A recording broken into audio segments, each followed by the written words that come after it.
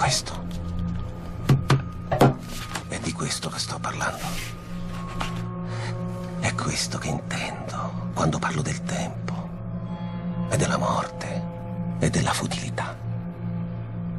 Ci sono considerazioni più ampie all'opera, principalmente l'idea di quello che ci è dovuto in quanto società per le nostre reciproche illusioni, durante le nostre 14 ore filate a guardare corpi morti.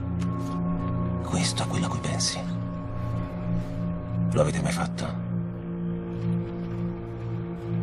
Li guardi negli occhi, anche in una foto. Non ha importanza se siano vivi o morti, puoi comunque leggerli. E sai cosa capisci? che loro l'hanno accolta.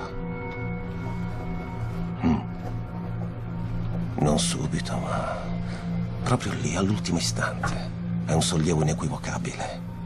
Certo erano spaventati e poi hanno visto, hanno visto per la prima volta quanto fosse facile lasciare, lasciarsi andare.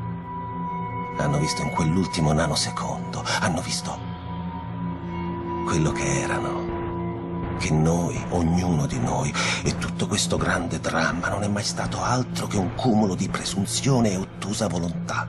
E allora puoi lasciarti andare. Alla fine non devi aggrapparti così forte. Per capire che tutta la tua vita, tutto il tuo amore, il tuo odio, la tua memoria, il tuo dolore erano la stessa cosa. Erano semplicemente un sogno, un sogno che si è svolto in una stanza sprangata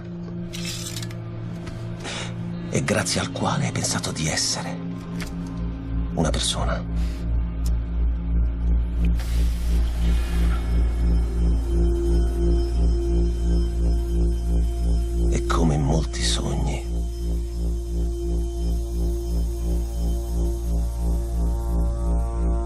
mostro che ti attende alla fine.